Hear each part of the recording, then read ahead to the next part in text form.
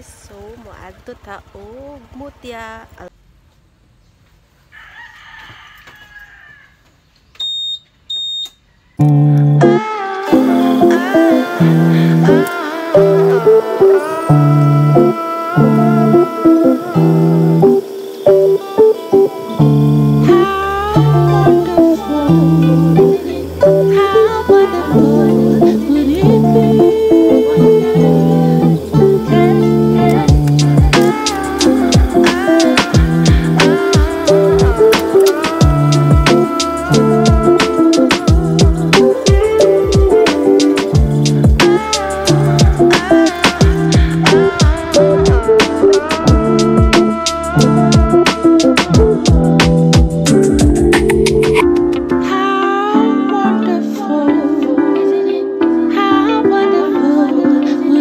happy.